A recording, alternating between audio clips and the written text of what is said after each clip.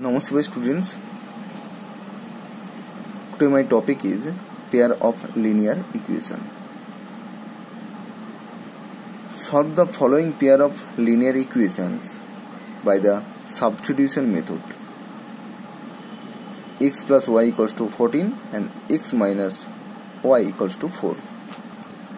Now solution. Given the equation x plus y equals to 14 this is equation number 1 and x minus y equals to 4 this is equation number 2 now from the equation number 1 we get x equals to 14 minus y.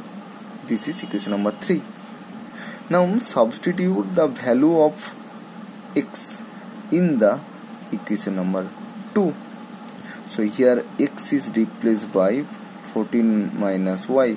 So 14 minus y minus y equals to 4 so you can write 14 minus 2y equals to 4 so minus 2y equals to 4 minus 14 so minus 2y equals to minus 10 so y will be minus 10 by minus 2 equals to 5 that means y equals to 5 now from the equation number 3 we can write x equals to 14 minus 5 so x will be 7 so hence x equals to 7 and y equals to 5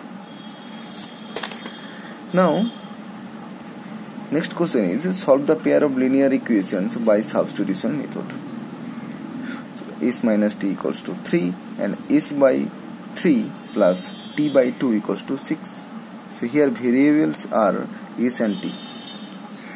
The given equations s minus t equals to 3 this is equation number 1 now is by 3 plus t by 2 equals to 6 by LCM we can write 2s plus 3t by 6 equals to 6 so 2s plus 3t equals to 6 into 6 that means 36 this is equation number 2 now from the equation number 1 we get s equals to 3 plus t. This is equation number 3 now substitute the value of s in equation number 2. So here 2 into 3 plus t plus 3t equals to 36. So 2 into 3 that means 6 plus 2t plus 3t equals to 36. So 6 plus 2t plus 3t that means 5t equals to 36.